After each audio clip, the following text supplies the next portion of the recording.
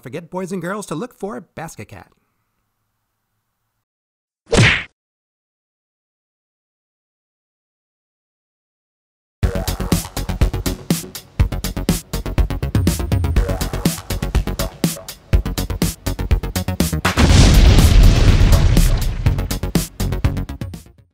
In 1 Samuel 16:7, the Bible reads, "Man looks at the outward appearance, but the Lord looks at the heart." When we hear the message of faith, sometimes we get these crazy ideas in our head about what that means. Today, we're going to talk about what faith is not. Some people think that faith is a get rich quick scheme. They pray for $10 billion Every year, someone wins the lottery, but it destroys their life because they don't know what to do with all those millions of dollars. Father God wants to bless us, but He's also concerned about our motives. Why do we want $10 billion? What are we going to do with that $10 billion? He's concerned about our motives. Faith doesn't work if we're selfish. Here's a math test. I'm sure you can relate. Some people hear the message of faith and and they pray if you're at school and you're like, "Okay, God, I pray for an A on this math test." So we think, "Well, I prayed the prayer of faith. I don't need to study." And we don't think that we need to study and we're just going to get that A because we prayed for it. Is that how faith works? No way. So you see, boys and girls, God wants you to get an A, but He also wants you to study. Okay? It's great to pray to God to get an A, but you can't just pray and then expect to get an A. You have to do the work. Also, along those same lines, let's take a look at one last item. All right? People believe God for their healing, but they throw away their medicine. Does that smart thing to do? Does God want us to do that? No. God wants us to pray and believe Him and believe Jesus for the healing, but He doesn't want us to throw away our medicine. He wants us to keep our medicine, all right, and keep believing Him for the healing at the same time.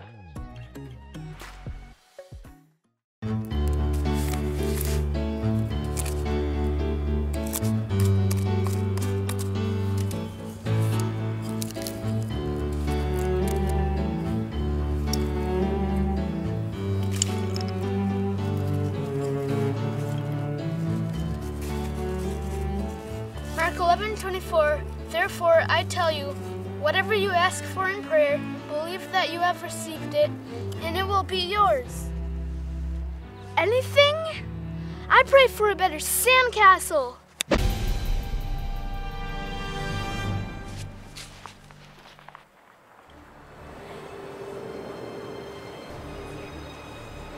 I pray for a t-shirt.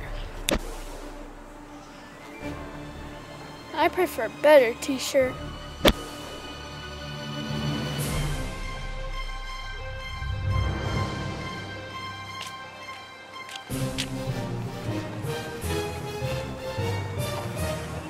I pray I can teleport. Whoa! I pray I'm in my room.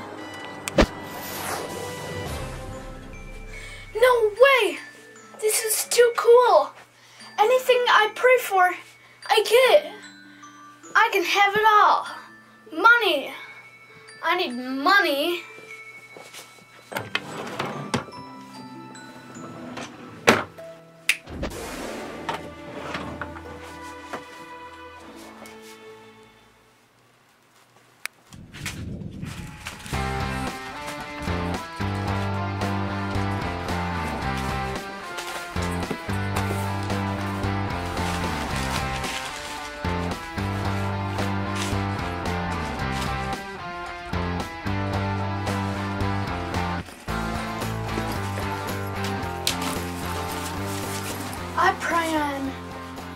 Park.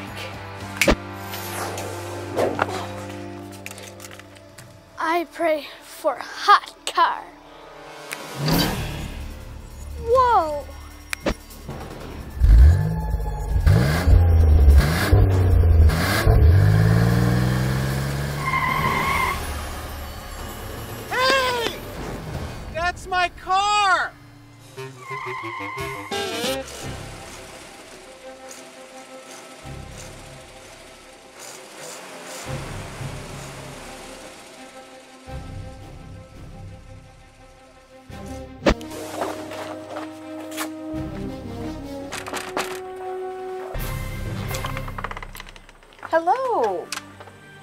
I help you, young man? I want your house. Pardon me? Mark 11:24 says I can have anything I pray for, and I pray for your house. Well, why didn't you say so? Here's the keys. The closet door upstairs sticks a little.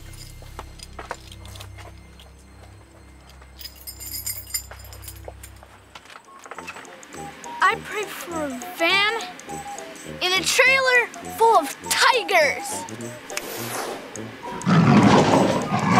Whoa.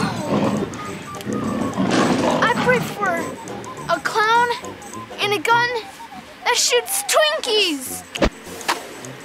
Whoa.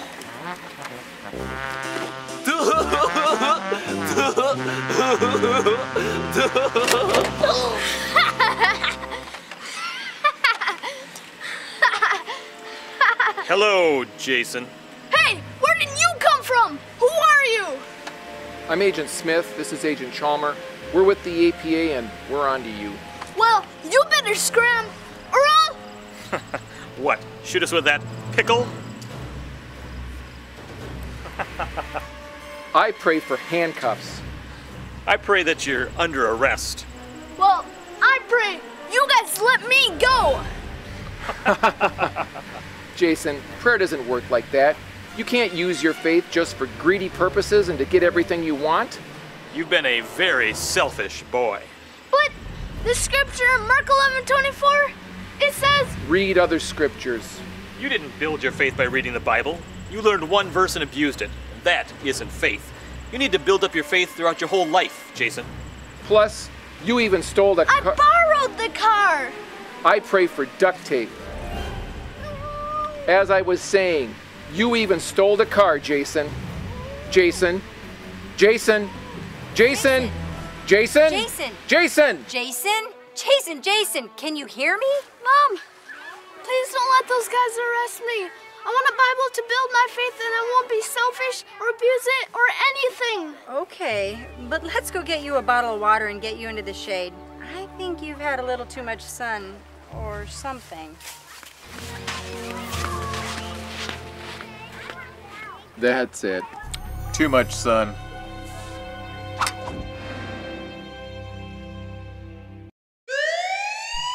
All right, it's that time again. Let's see how much you remembered from this week.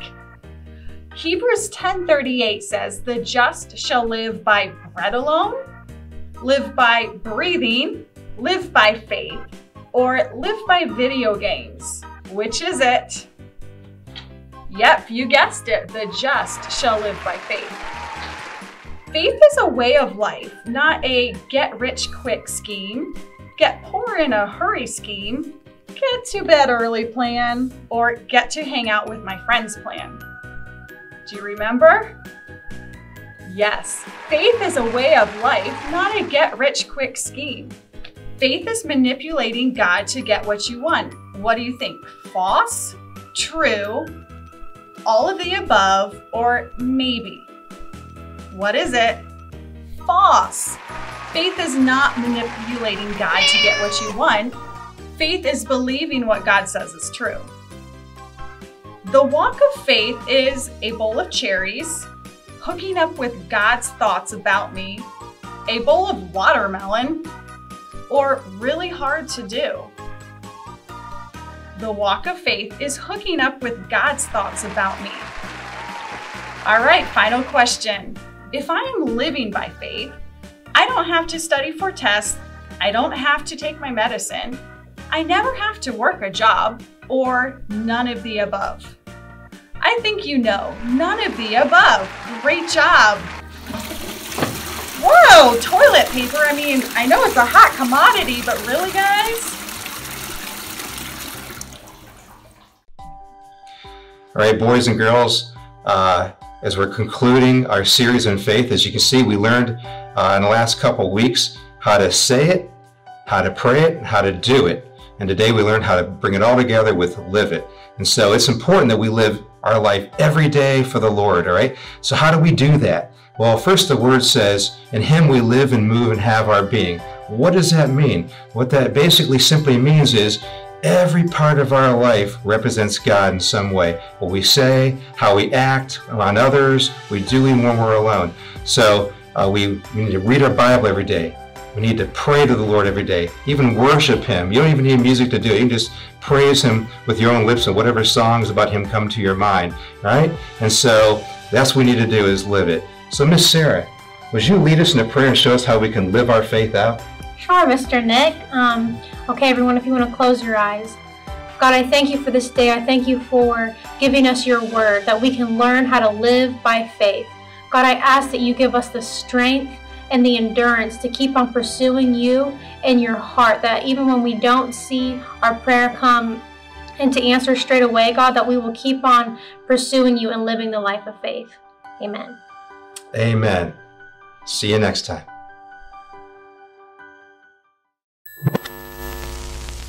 Okay, boys and girls, we're ending our series on faith. It's been great. We're starting a new one called leadership. So be ready for that next week.